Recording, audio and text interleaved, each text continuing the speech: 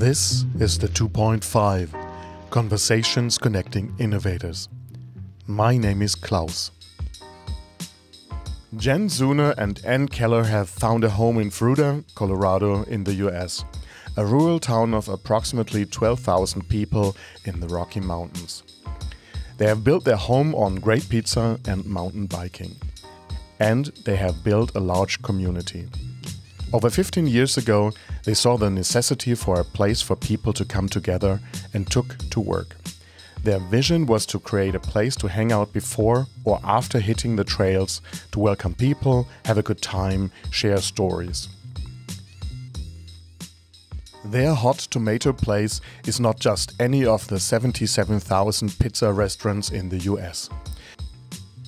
They have developed their own very special recipes and ways to do business.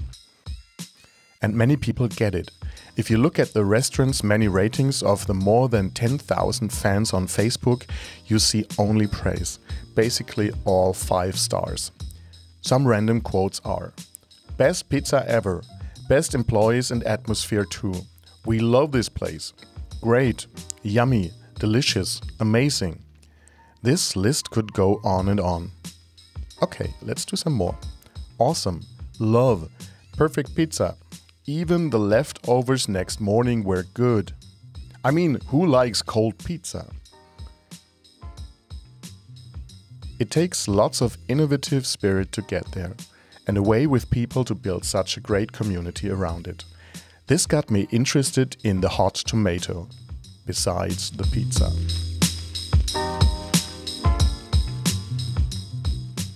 Welcome, Jen Zeuner and Anne Keller from the Hot Tomato in Fruita, Colorado. Hi. Thank you. Hello. Hi, I, I'm I'm really in a good mood right now because I just watched Life of Pie, and uh, well, you might not be on the slopes all the time, uh, but it looks really impressive the place that you have chosen to to stay to live. Yeah. Yeah, we have a beautiful place that we that we found our home. It's pretty awesome.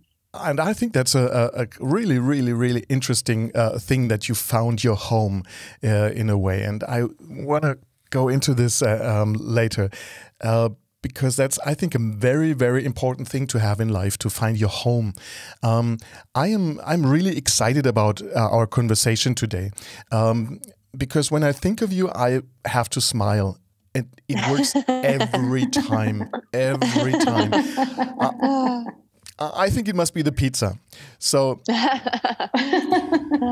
uh, Jen, your email footer says something like "Pizza Queen, hot tomato, ride bikes, eat pizza," and I was wondering.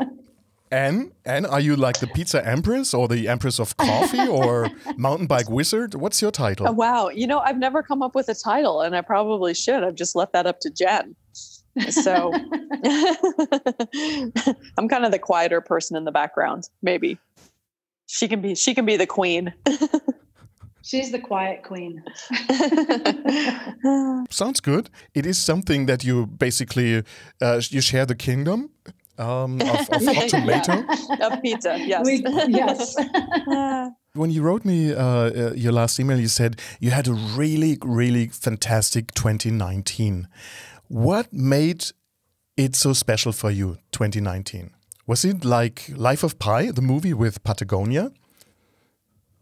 Yeah, I think uh, I think the the movie just uh, I think it sparked a lot of interest in a lot of people, and so we got to meet a lot of new people, and we had a lot of really wonderful opportunities come our way since the movie came out. We had a lot of fun working on the movie and I think being able to really tell our story in in a humbling way, I think it was really uh, it was it's been really moving for us, and we've seen that through various people that have gotten in touch with us since the movie came out, whether it be coming into the restaurant and talking to us or emailing us. Um, but it's been really really wonderful, and then you know all of that you know turned over into our sales. So we you know, we just had a, a really great year uh, on the on the business side of things, um, which was awesome. Our staff has really stepped up because Ann and I have been given a lot of opportunities since the movie to go go around the country and do some pretty cool things that we've been able to take advantage of. And our, our team has been really solid and, and keeping it all going for us, which has been really wonderful. So I think when you put all those things into the big basket, it was just a really positive overflowing basket of awesomeness. That's a good way to put it. A big overflowing basket of awesomeness. wow, I'm impressed. So, so you build a really solid business, and um, people have started to notice it, and um, and and uh, and it, it, you get a much bigger traction now. But uh, we are in 2019, 2020 now. Yeah.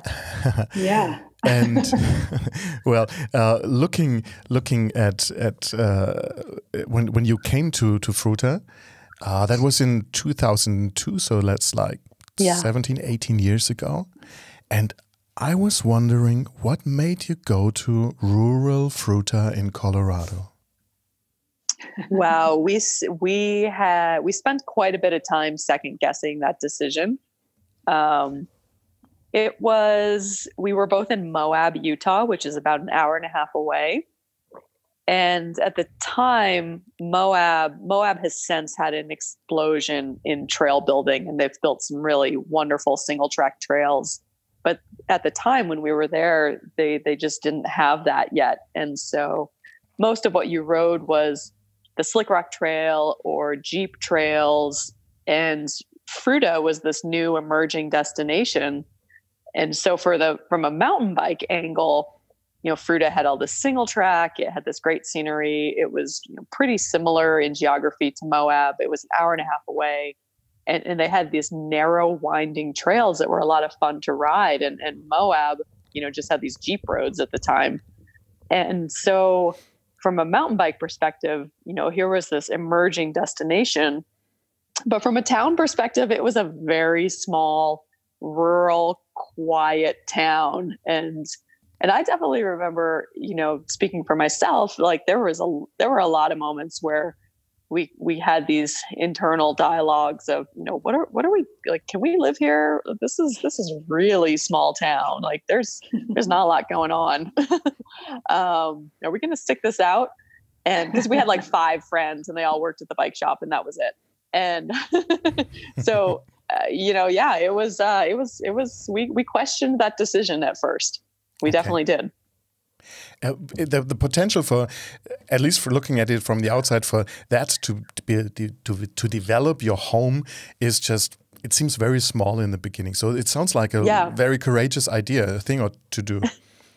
yeah, well, you know, we had spent a few years there, and at that point, um, you know, we we had debated about leaving. There were there were other towns that we were looking into moving to, and unfortunately, with Colorado, some of our really desirable destination towns uh, were for us really priced out, mm-hmm. and so we we couldn't move to the Durangos or the Tellurides or the steamboats and some of these just just awesome resort towns because we just couldn't afford to.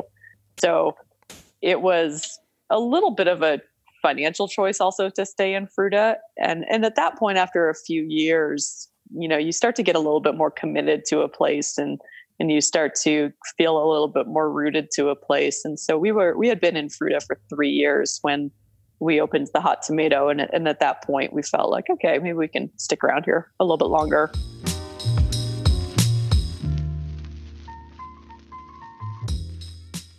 did you ever imagine that you would have nearly as many facebook friends as people live in fruita every single not. one of them. We're friends with every single person in Fruita. yeah. Uh, like our Facebook page, you get a slice of pizza. Yeah. yeah. But if I look at your Facebook recommendations, I see only praise. And let me quote some random picks. Um, best pizza ever, best employees and atmosphere too. We love this place. Looking great, yummy, delicious, amazing, awesome, love, perfect pizza. Somebody said even the leftovers next morning were good. I mean, who likes cold pizza?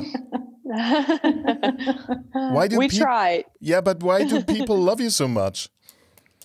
Pizza? I think I mean, to uh, be to to be fair, we make some people mad. Go ahead, do. Jen. We definitely do.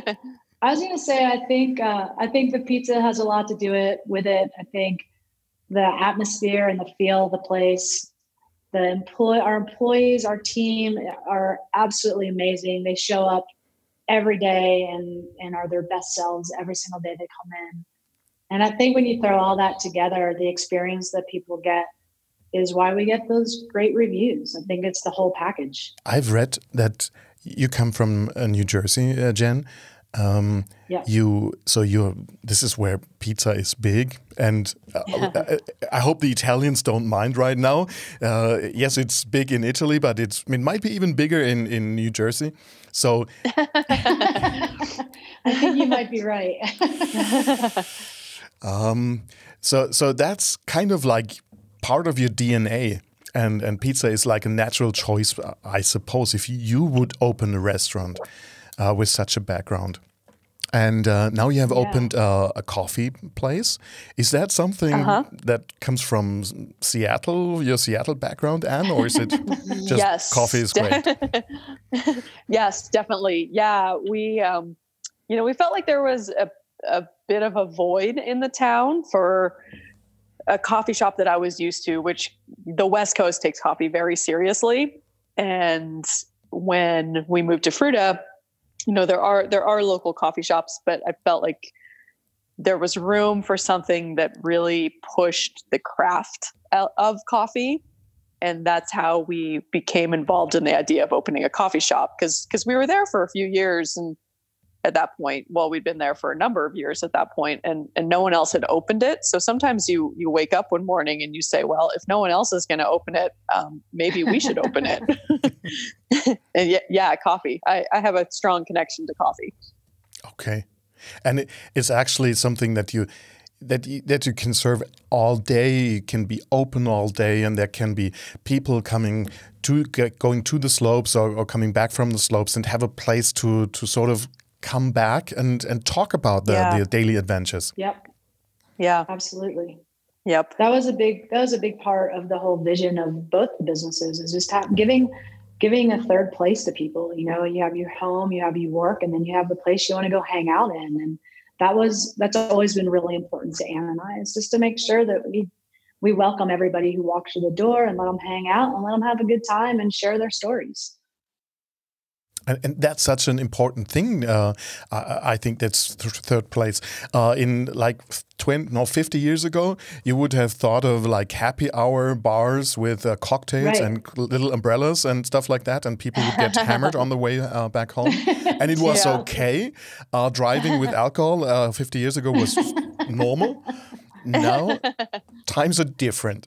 Now you, you, you arrive with your bike. Uh, you're sort of stressed out because it was such a great uh, uh, physical adventure in the mountains um, and stuff like that. And and you don't really drink that much alcohol anymore, but you sort of enjoy uh, life outdoors. And I, I think Yep. yeah that's what you do. Also, you enjoy that life outdoors. yeah very much so I think that uh, I think that's what keeps us going is the the love for the outdoors and and giving each other the opportunity to get outdoors, whether we're together or separate, just to go out and play. And I think it just really settles us and soothes us and and you know lets all those ideas that come in and out of our heads, you know, either go away or come back and you can write a vision around something new. So I think being in the outdoors is, is really, really critical for both Anne and I. yeah for sure And the people in your team, they also catch that outdoor bug. Some of them for sure I think, yeah, I think a good chunk of them for sure. Um, but I mean, where we live, you can go, you know, pretty close to town, and just even if you're just going for a hike, and definitely all the staff are, are hikers or bikers or on the river. A lot of guys climb. There's a lot of different things going on, which has been really great. You said you develop the, these ideas when you're, for example, outdoors, when you, you throw back uh, some ideas, uh, some keywords, and you, you have a good time developing that. And you have a you started with a vision also, but then you also say that you are um, around um, uh, the country uh, with the with the movie, for example, and and uh, the people, the team is is running your place, the Hot Tomato and Yeah. uh, Best Slope Coffee. Yeah. Uh, so, Yeah.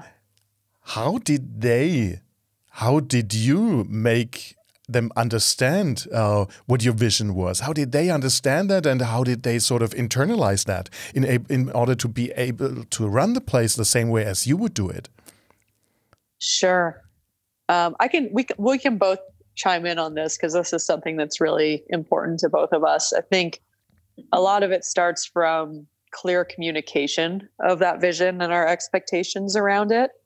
Um, obviously, hiring the right people is is crucial to that. But I think when you're starting from the the solid place of kind of defining that vision and then working from that you, you do tend to hire better people that that fit that culture and, and align with your vision and so that's been that's been a pretty enormous thing for us is we can't expect anyone to get on board if they if we don't communicate what what we want them to get on board with. And then we also can't expect anyone to get on board if if we ourselves aren't on board. And so it it takes you know it's it's a humbling experience to have a good team and to have a strong vision and try to align yourself with it because it it's uh you know it means that we admit to our mistakes. It, it means that we say sorry um and we you know we try to be human in the most kind of gentle way possible. And so i think when you can give your team a little bit of that graciousness like they they are more willing to get on board and you start to surround yourself with the type of people that that truly live out that vision. Jen you should add to that too. That was great. Um, I also think that uh, you know it's always hard to figure out how to explain that to people, but um, I think the other the other piece, just to piggyback on all that, is just leading by example.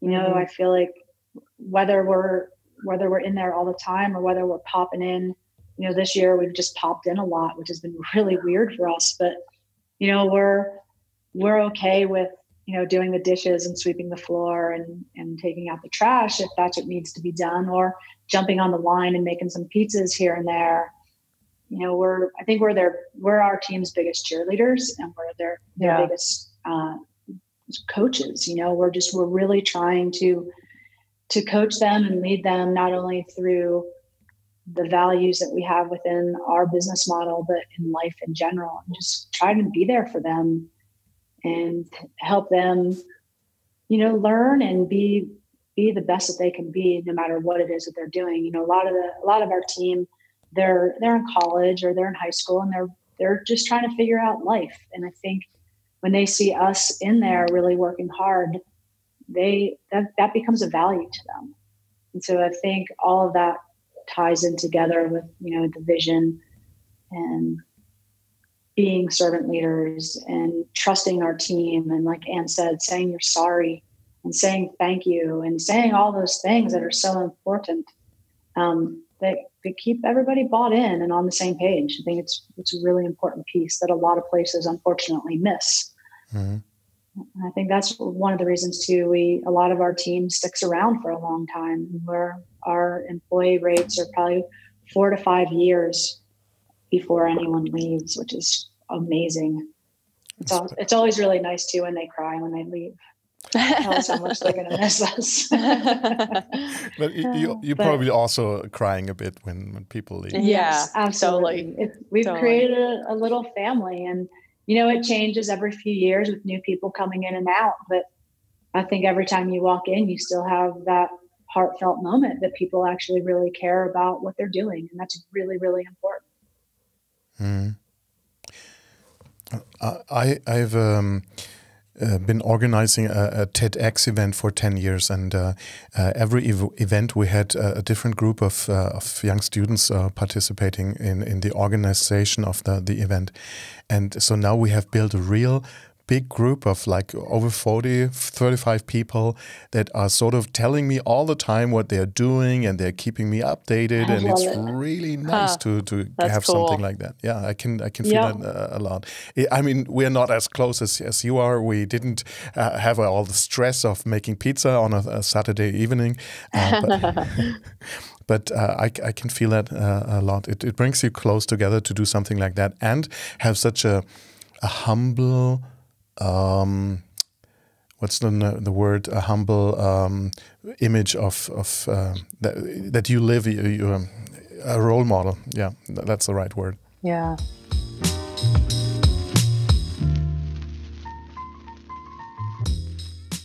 somehow I got the impression that um, you do the thing, your things differently.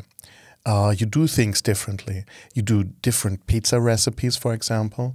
You probably have some some classics, but you have your own recipes, and it's not the classic pizza that you get everywhere. With uh, it's like mushrooms and cheese or whatever you you put peach on. It's just very very different what you do. So you have your your own way of doing business. Um, and uh, sometimes that is kind of difficult to find what it is, define what it is, and then also communicate that to the others. And it might take an extra bit to communicate it because the others don't get it yet, or maybe the, the idea is not ready yet. What's your your experience here?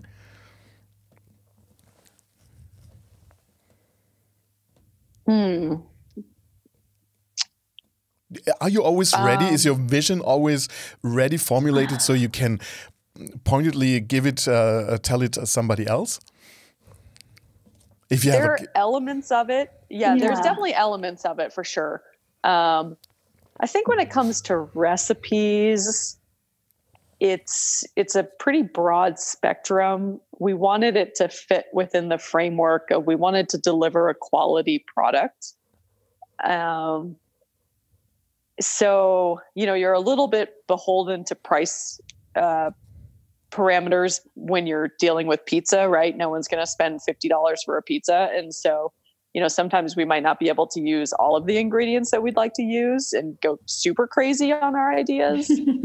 um, you know, at the end of the day, like we want it to be you know, decently affordable for people, uh, and also taste really good. So coming up with new recipes is really fun. Um, I really enjoy that aspect of it.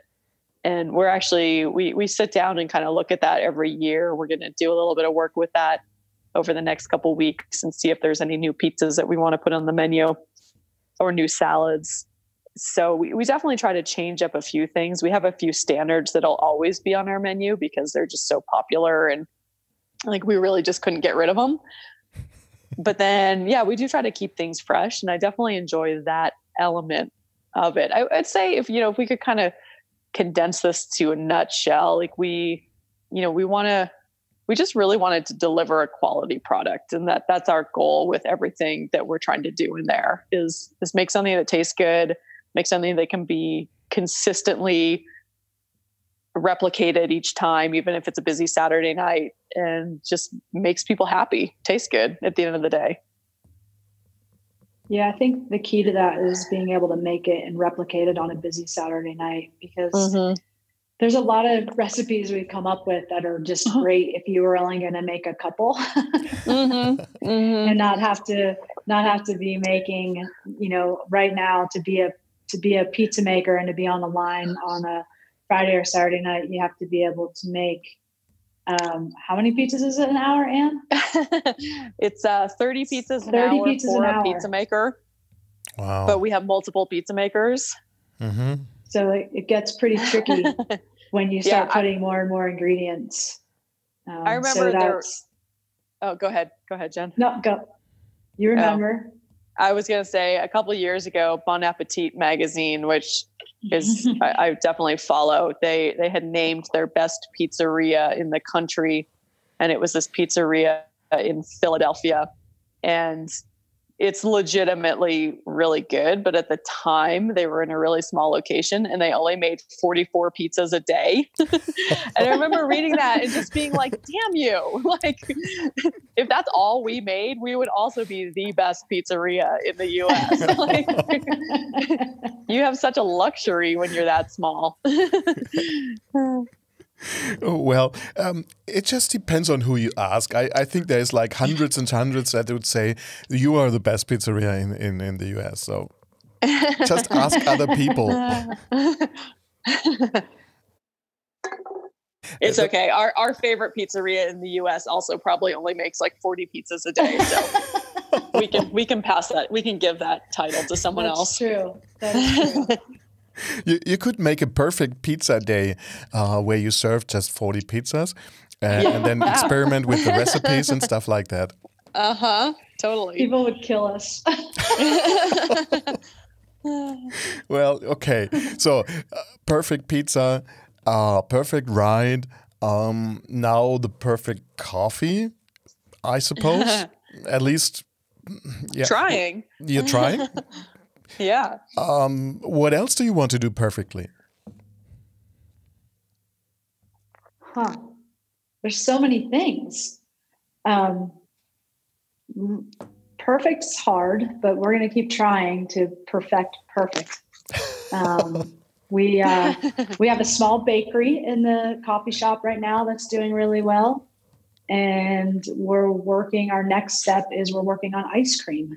Mm. So that's that'll be the the trifecta, if you will. I think for our little area in Fruita. If we can nail that, I think everybody will be even a little bit happier. Mhm. And then other things that Anne and I have on our plate is we just want to continue to ride our bikes and to help other people with small businesses and help them be more successful in in their endeavors. And we we have some opportunities right now to work with some smaller companies and help with some consulting and various things of that nature, which I think we're both really excited about as well. And who knows what happens next? I guess it's all just a big adventure. Mm-hmm. Wow. Yeah, wow. So, so you're keeping yourself really busy. Um,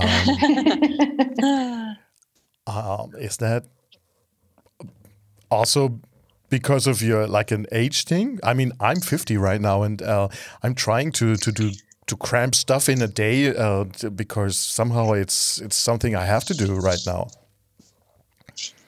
I, for me, I don't think it's an, as much of an age thing as it's this. You know, we were 15 years into the hot tomato, and it took us a long time to get where we are, and we've learned a lot over the years. And we see a lot of people in their 30s and 40s that are trying to do this thing that is really cool, but they don't have the resources to really get it all the way there. And we feel that we can we can help in some of those things. And so I think it's more about just trying to help our friends and people that we've met along the way just be able to have the time that we now have the luxury of having to to do some other things because I think Anne and I both have a lot of things in our heads that we would like to continue doing and doing well and we finally have the opportunity to do that which makes us really excited um, I want to I want to help my friends that have businesses get that business up and running where they're profitable and they're not stressed out as much as we have been over the last 15 years doing this. Um, really, Right. it's really really speaks to us to see that we can we can go out and ride our bikes and not have to be in our restaurants every single day. Um, We put our work in, and I think we've found the balance in that, and I think that's been really another another reason why we've been so successful. Not only professionally, but you know within our relationship and within for ourselves. I think it's a really important piece that a lot of business owners get so busy in their business they don't have the time for that. Right. True. It's just business, business, business, and sometimes Yeah. um, the the business partners are, are married, and then they talk about business all the time, and then there's no life at all left over. Uh, Right. Oh, that's that. that's pretty easy to happen. yes, and it's Yeah. but it's dangerous. It's very very dangerous. Yeah, yeah. we do it all the time. Yep. and then we had to stop ourselves. So so when you're you're helping others, is it like uh, you sit down and do some consulting work, uh, answer questions? Uh, do you invest uh, with your friends, or is, is there something? How does that look like? Do, do your business uh, meetings involve your your coffee and your pizza? Always. uh, it's a it's a good way to it's a good way to have a meeting because everybody starts off in a really good mood. Um, but right now, it's um, more um, working on you know just having some seeds planted on doing some consulting Mhm. and helping helping people out. I mean, that's been a really great thing with the coffee shop is we have a partner that we meet with once a week, um, and he's been really great with running the day to day. And Anne and I have been helping him with his employee manual and hiring people and having those conversations and looking over his financials and it's been really cool to see the business over three years. It's a profitable business, which a lot of businesses aren't profitable for a much longer period of time. So Mhm. to see that, you know, I look back at the hot tomato and where we were year three, and we definitely were not profitable. So it's it's been No. nice to to take all the all the things that we've learned along the way to help people get prop get profitable sooner Mhm. and you know that gives them another opportunity to do other cool things as well And that way you strengthen the community in in Fruita. right right right. Okay, cool. Then, so so you're helping others. I mean, I'm a consultant and coach, and sometimes I, I think I'm helping others, but I have I, I can never say I'm helping because people don't want to be helped. They need support, for example, or knowledge or whatever. Help is sometimes a bit in a, a, weird way, a weird word uh, for the process. Right. Um, but Yeah. but you're you're helping. You're helping with um, knowledge, training. But what, what I found impressive and, and pretty cool is that you also accept training yourself. Uh, you you Absolutely. ask for advice. You ask for ideas. You ask for uh, feedback and stuff like that.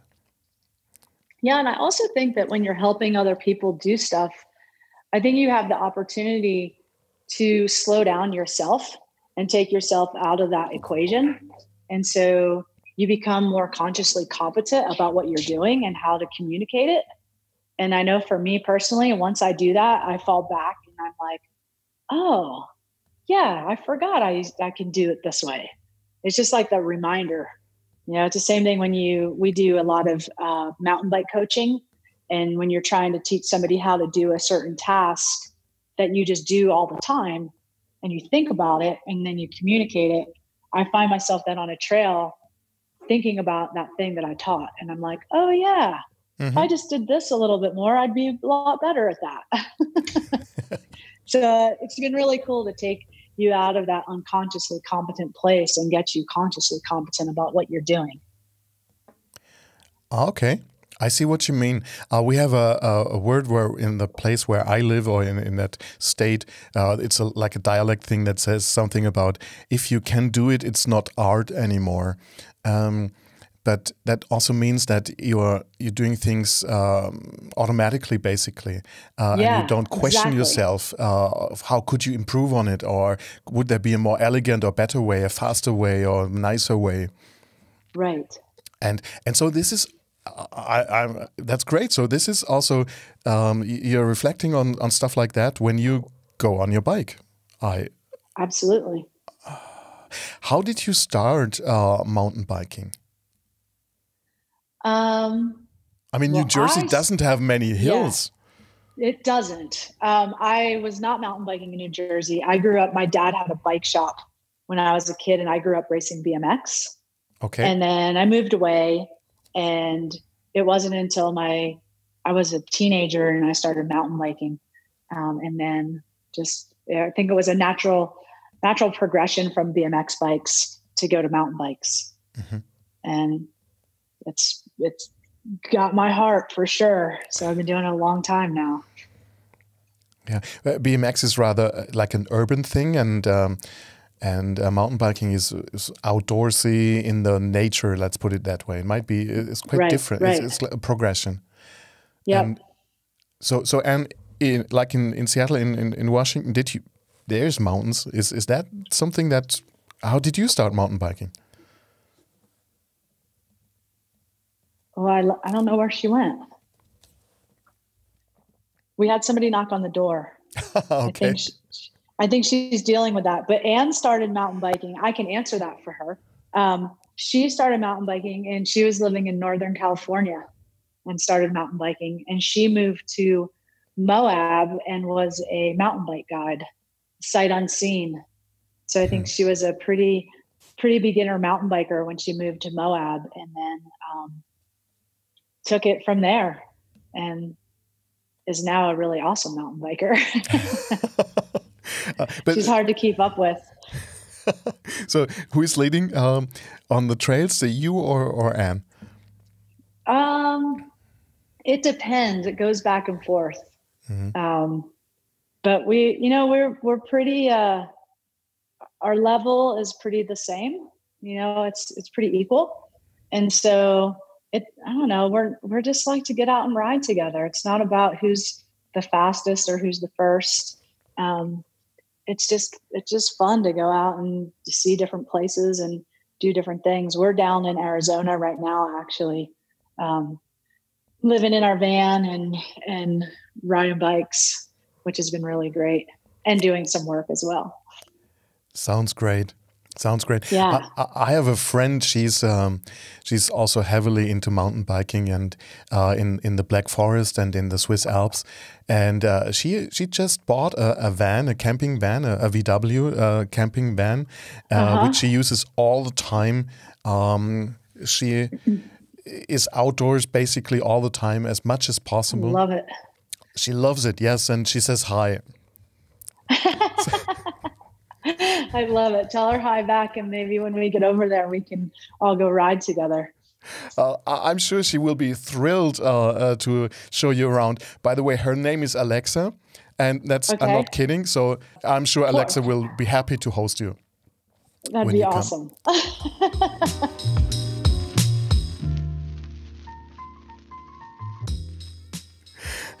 okay, uh, so it is a very important thing for you to to go outside uh, on your mountain bike. Do you? I mean, you probably use it also to go around town to go to places. Yeah. But would you do something? I mean, I'm not the really really sporty type, so this might be a really dumb question right now. But is it like you get up in the morning and then you want to go outside and use the bike? Pretty much, yeah.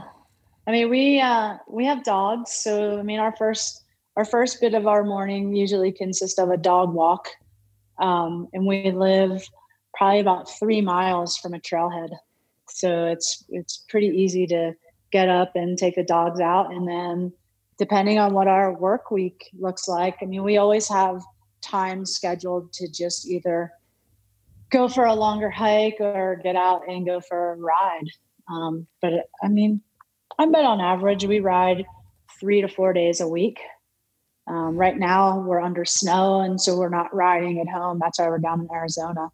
But um, but yeah, we like we definitely are out riding and and promoting trails and bikes as much as possible. Mm-hmm.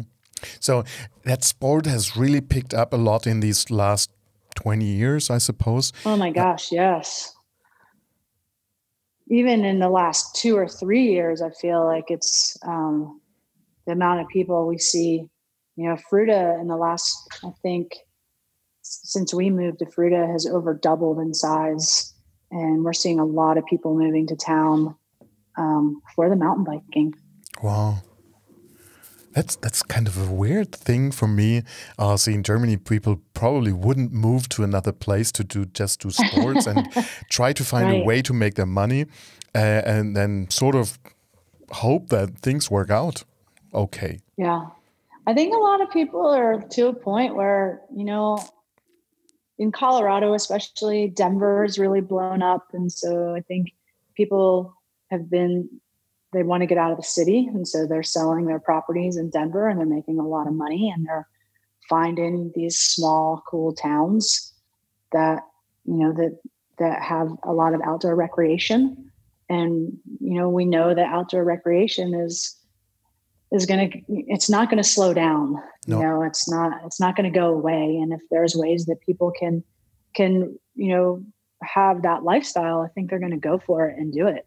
Mm. i mean that's that's where we are right now. We never thought we would be in this position with the hot tomato of it being uh, so busy with outdoor rec. Because now it's not just mountain bikers too. There's you know, we we live near the Colorado River, so you have rafters and rock climbers and hikers and campers and road cyclists and skiers. I mean, we have it all, and so it's really that has really been um, blowing up for sure. Mm. So you were kind of at the right place at the right time. It just, Absolutely. it just took a while. Absolutely. Yeah, I mean, and everything good takes a while, right? I mean, if, that didn't, if it didn't take a while, how good would it be? I mean, we learned, we've learned a lot over the years. We've, we've had moments of failures and moments of successes, and it's, it's really nice to be able to have the opportunity to to improve upon what you're doing. Okay, but you moved to to Fruita in 2002. You started uh, the Hot Tomato in 2005. Uh, it took a, a, few years to become profitable. Um, you you said this, so the start was kind of rough, um, in a way, but there was still the mountain biking. Okay, but um, why didn't you simply do something else or move on? When you ran into these difficulties? Honestly, when we did the hot tomato, uh, we borrowed money from our friends.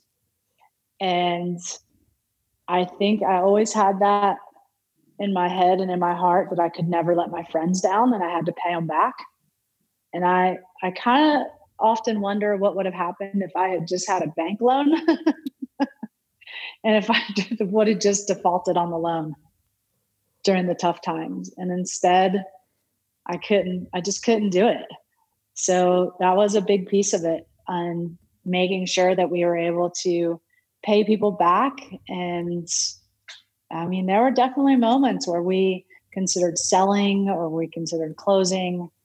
Um, I don't know. We just, we just had to figure out a way. I think Anne and I are both we we like to be good at things. And so i think we knew that there was an opportunity there so we had to keep plugging along. And here we are now on a podcast. It's just crazy. You are on on the big screen in a giant movie, uh, which is oh yeah, really there's that too. feel good thing, Life of Pie. I will put the link uh, to the movie in the yes. show notes, and I really hope that even more people are going to to watch it online. It's it's on YouTube, um, and I think something like this must be kind of life changing. Yeah, I think it is. I think that I don't think that we really had any idea or understanding of of how I don't know how, how many good things have come from this, and just just meeting people and talking to people and sharing our story with people. And we've had a lot of really amazing um, conversations with people around this just because of this movie, and it's it's definitely been life changing. You know, I think I think we've had moments where we just have thought, oh, well, we're just a little pizzeria in a little teeny town. And I don't think we realized how many lives we actually touch every day. And that was, that's been a big one for both of us. And we want to continue doing that. Mm-hmm. Just making people smile and giving them a good opportunity for whatever it is they're doing. You created you created the restaurant, you created your your place, Hot Tomato. Um, I think with um, with the observation that a good pizza place was missing in a way, um, and you also created it. I that's what I've I've read or observed is uh, as a place because a place to gather was missing, and uh, so it it was basically good intentions built in from the very beginning. Yeah, and, absolutely. Okay, you needed to make money, you needed to pre- repay the loan and stuff like that. You have to live somehow, but there's different ways to start something. And if you build in such good intentions um, and uh, are very planned and organized, which I had the impression that you are in a way, but still very, very relaxed. This is Anne. I'm back. Hi, Anne. Um, hi. You're like, where did you go? Sorry. I had to move a vehicle. Um, we uh, uh, hold on. I'm leaving again. Jen, you can take this. Someone's at the door again. Um, I don't know where she was going on that. um, I think that the the basis uh, is is uh, was something else, or some there was more to making money, and this yeah. is what sort of multiplied a lot along the way. And it brought people together because this is what you wanted to have to, to happen. Yeah, I agree. And, you know, growing up in New Jersey, and I say this in the movie, you know, every, where I grew up, there was a lot of places like a hot tomato. And so there were a lot of, a lot of those feel good places where you needed, you needed to, you know, a place to go, that's where you went. And that was definitely really important for me. I wanted the high school kids to come in. I wanted the elementary school kids to come in. I wanted the families to come in. So I think trying to figure out a way to just create that place was really, really intentional from the get go. And I think you're right. You know, setting that intention from early on, it really set the stage for what it's become. Yeah, it's it's kind of you have to be open also for people, right? If you, if you want to welcome people, you have to be welcoming in a way. Um, you might have your your own yeah. rules, or or uh, right. I've read how you uh, how you organize the restaurant and the lines in the restaurant, which is a bit different than others do, but it it's very simple to what's happening, say, in a British pub. Um, right. So so that's nothing new in, in a way, but it's different to what's what's around. So you have your own rules, your own ideas, but it's still open and you welcome uh, people. Yeah, yeah. And and building such a place, um, what, what, what do you think is is uh, the most important thing for you to uh, sort of make people welcome and and being part of a group of a community? I mean, it's part of the Hot Tomato group, let's put it that way, and part of the Fruita community. How do you think you can foster that uh, that feeling? Um, I think you have to be genuine in your acceptance of people, um, and it also has to be taught. I see a lot of places that assume that their staff will give good customer service to everybody. And it's rarely the case if it's not deliberately taught. And I think that that's recognizing that has been pretty key. Mm-hmm. And then again, it's one of those things that has to start from the top down. Um, you know, we we live in a we live in a state with a lot of resort communities and it's a it's a feeling that I sometimes get when I when I go out to eat in a resort restaurant that just people can't be bothered with you as a tourist. They've seen so many of you that they're they're just they're over you. Um, and these might be perfectly well-intentioned people that are perfectly nice, but unless you have a top-down approach that actually teaches good customer service and teaches creating a welcoming environment, the assumption that people are just going to give it is oftentimes wrong. And I, I, think that that's sometimes where people miss the mark is they just assume if you hire friendly people, they're going to give good service. And, and sometimes you get that, sometimes that's the case, but it, it, it is a deliberate practice and it is something that we do talk about a lot and it is something that we you know do classes on and and so i think the making it a deliberate thing in the restaurant has really helped with that and then also just setting the intentions from us as the owners that you know we're not too good for anyone that walks in the door and mm. we expect our staff to behave the same way no, I, I think that those two things go go a really long way to creating a good, welcoming environment. So it's having the intention, being a good role model, and yeah, communicating and teaching. Yeah. Um, is really helping at least to sort of um, share your vision with uh, the people that uh, you work you are working with uh, to make them understand what you actually want to do. Plus it's a good it needs to be a, you have to make a good selection and, and do some experiments possibly also with people. Some people might disappoint you in a way uh, even if they have good intentions and some others might turn out to be really great even uh -huh. they didn't think uh, thought so in the beginning. Yep. Absolutely. Yeah for sure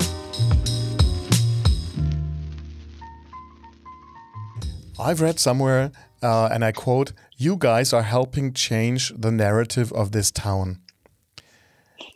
So it's Fruita. Um, would you would you say that a single restaurant can do something like that? Are you doing it? uh, I, don't know. This is a terrible question because uh, if you're humble enough, you wouldn't answer, and uh, and if you're not humble, um, well, yeah. Sorry for that question. it's a hard one. yeah, it is. It is um, because I, mean, I think. Go ahead, Jen. I was gonna say. I mean, I ho- I hope that that that's the case in a way. I mean, but I don't think that we we should have all we don't deserve all the credit. It's taking it's taken the whole community to create what we've created. Mm-hmm. mm-hmm. and i think we're just a i think we're just another piece of that puzzle. Yes. And, yeah. you know maybe maybe that is said because we were there from the early stages of of the growth of fruita uh, along with the bike shop. But i think every day it takes all of us digging digging in and figuring out how to continue to give people a really great experience, not only when they come into our individual businesses, but when they come into our community. Mm-hmm. I think we're part of a larger, we're one cog in a larger yep. me- mechanism that would have would have happened regardless of us. Absolutely, yeah, for sure. I, I think, I, I hope if we could contribute anything, it's that maybe inspiring other people with small businesses mm-hmm. to see that they could be successful in our town. And I, I, hope that that's the type of change that we've inspired is, is to get other people to open doors and do other small businesses because we have seen some some growth in that and that if anything is what i hope we could have contributed to to the changing narrative of town Mm-hmm. I, I, think you're inspiring, and um, and I take a lot from watching your your movie and and uh, sort of getting you as an example and uh, being able to quote that uh, when when I do some discussions or some presentations. Um, I have never worked for somebody who has who is doing pizza, so it's it's kind of a difficult example, but it's still uh, um, it's it's very inspiring. I think this this pioneering spirit in a way that that is, I think, obvious in, in, in you in a way. Uh, I mean, it starts with uh, like finding your own style, your own persona, your your own vision, developing a vision of who you want to be, who what you want to achieve in life, or what you want to start, and, and what you don't want to do is is also something something uh, I think uh, a pioneer is, is is kind of doing. So I'm really impressed by you guys and. Um, and I think you're you're actually a good, very good role model. Um, so so thank you very much for this. Uh, um, but was it difficult for you to sort of accepting such a such a role? Was there a moment where you found out that hey, we are doing something special that is different from what everybody else is doing or wanting? Like for example, when you start a small business, um, you know that you have to do it. Uh, because it's not just the money from that you, you got us a loan, but because you wanted to do it, it was important for you. Or when you started mountain biking, uh, I mean, at some point of time, you would, you had to see that it was the perfect thing for you. Yeah, I think I think we're understanding that now. I mm-hmm. think for a mm-hmm. long time it was it was this, oh well, we're just making pizzas, you know. It's yeah. At the at the end of the day, it's you know, we have to have jobs. So um I, I think that since the movie came out, or maybe even just maybe in the last few years with with some of the experience that we've had with some of our staff members and things like that, seeing that uh, we are helping people along and we are making a positive difference. I think that that's been a new thing for us that we're like, wow, we're not just making pizza, we're actually helping people along this life. And that's been really positive for us. And I think definitely since the movie came out, we've we've definitely felt a lot of that. Mm. Uh, plus, it helps it helps to make pizza because everybody loves pizza. right? yeah. it's we I, I'm distrustful of people who don't like pizza. So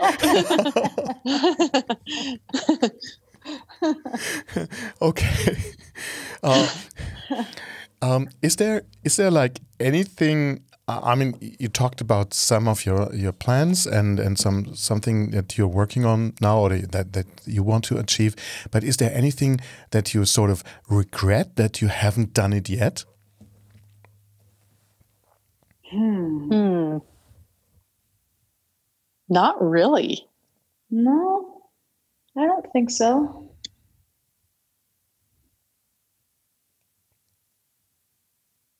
Yeah no I, I can't i can't really think nothing really comes to mind on the top of my head.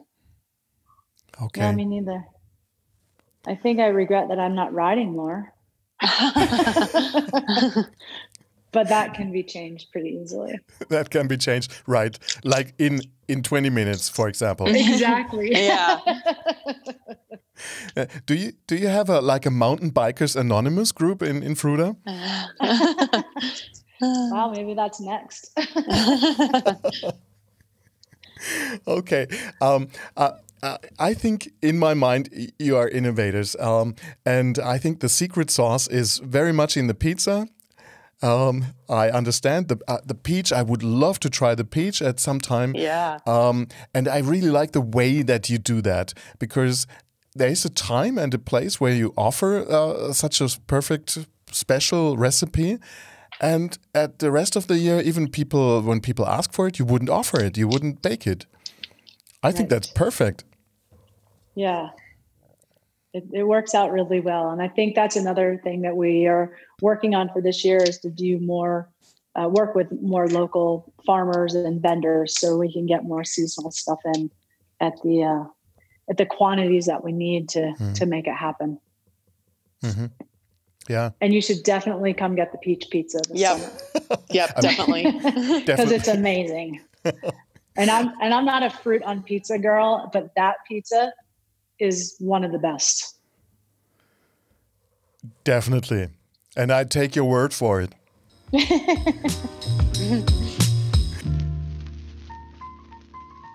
I'm not I'm I'm really bad with um, with uh, with endings uh, I found out.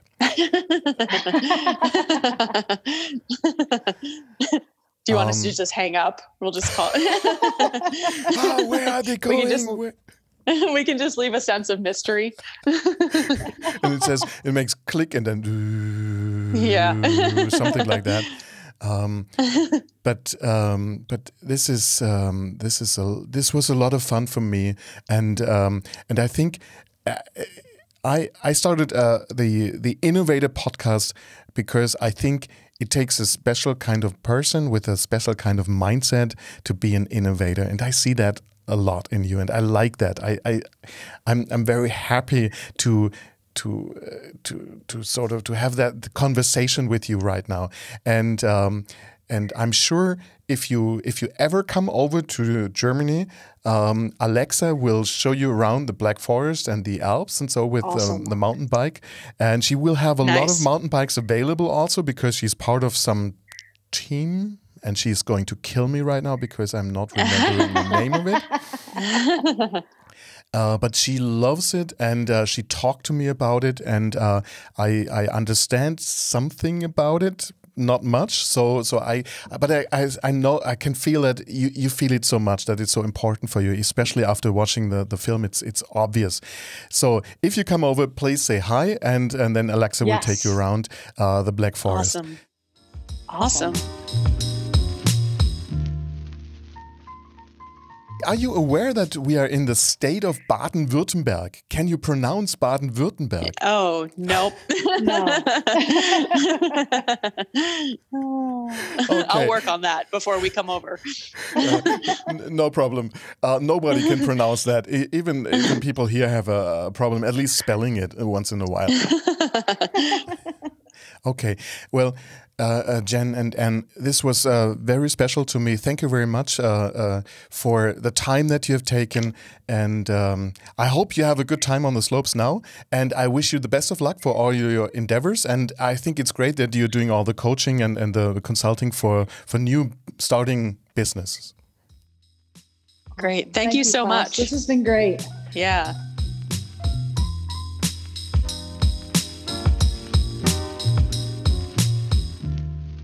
This was my conversation with Jen Zeuner and Anne Keller.